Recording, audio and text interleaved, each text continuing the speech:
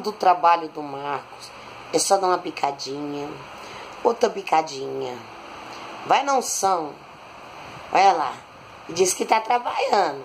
O carro do Estado tá lá fora, parado. Paradinho, que nem mexeu nele. Pegou o carro, encostou ali, não andou 300 metros, encostou ali. E tá na unção do trabalho. O patrão achando que ele tá trabalhando e ele tá na unção.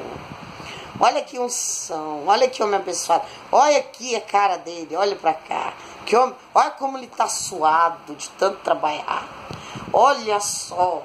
Olha que peso que ele carrega o dia inteiro. Ué, amor, o É um- presidente não quer me dar aposentadoria? Ah, é, é um som da, da- Agora é o presidente que é ocupado.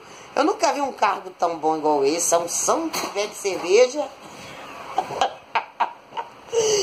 Um som que cai ventilador sozinho. Um som escondido dentro do hotel e o carro do Estado que é rastreado lá fora, parado. E ele dentro do quarto dizendo que tá trabalhando, tomando cerveja.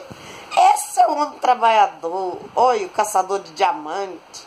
Olha que homem trabalhador da canequinha da unção, da amarelinha, da cervejinha. A bicadinha que dá, ó, ó, ó. Olha lá. Pergunta aí se não tem vergonha na cara, não. Olha pra cá. Qual recado você manda? É, né? Eu nem vou falar que você faz esses dois dedos. e amor.